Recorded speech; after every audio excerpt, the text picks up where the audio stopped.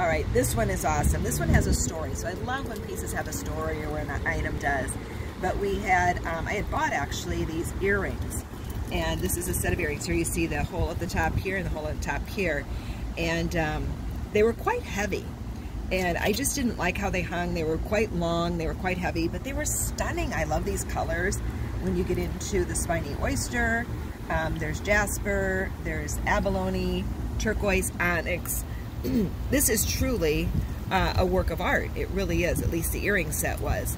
So, um, as you know, we have a favorite designer who designs um, a tremendous amount of um, the beautiful pendant statement neck pieces for us. And so I sent them on over to her and I said, okay, just do whatever you think with these, make them independents. So I was thinking there'd be two pendants and we would have one, um, we would have two different ones because I love vertical stuff. Yeah. And so she came back with it and she had put both of them in here and I was like blown away. I think it's such an incredibly beautiful piece.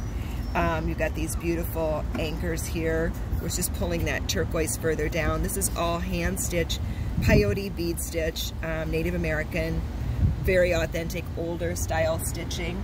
Really, a, this is really a museum piece. It's that awesome. And then there's tiered up turquoise. It's gorgeous turquoise. And then onyx bars through the upper part of the neck piece. Yeah. It's a really nice length. It's about 20 inches. Plus the pendant is five inches by two inches.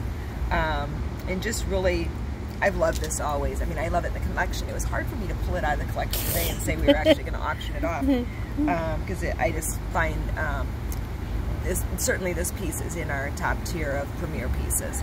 And one that, um, let alone in our collection, popping a wall or a section, you wear this and it's going to be like, wow, explosive with color and gorgeous, you know, beauty.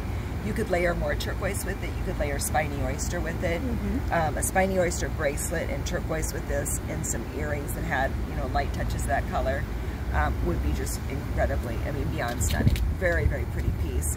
Um, a collectible piece and one that um, I would suspect will have uh, a, a, good solid battle on this one. Yeah. Yeah, in terms of bidding. Uh, the people who have um, her pieces know that, you know, they're awesome. So at any rate, fun bidding on this one.